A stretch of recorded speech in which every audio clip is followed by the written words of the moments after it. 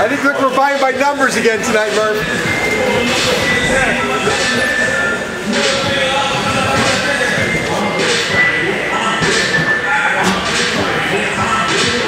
Line it up, want to take it home?